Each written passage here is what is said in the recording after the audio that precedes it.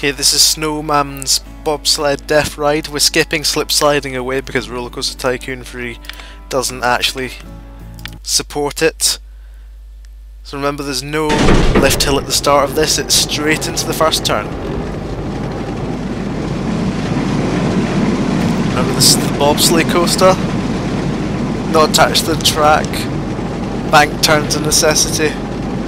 I think this one's going to end up looking really boring.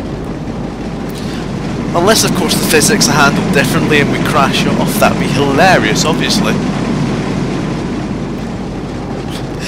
Thought we were about to jump there.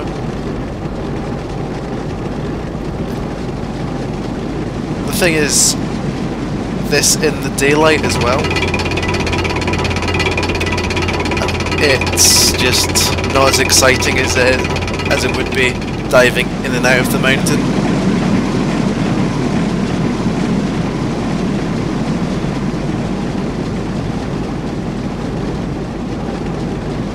Think the bobsleigh is actually rated as the least exciting as well. Oh god. Yeah, I, I can... What? Just randomly have no sound. Jesus, that's, that should have decapitated someone. Lovely glitch there. This is near the end. I think there's one more drop and one more turn. See, I know my tracks.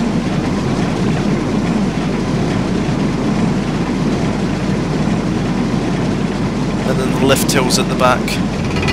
Somewhat, somewhat of a prominent feature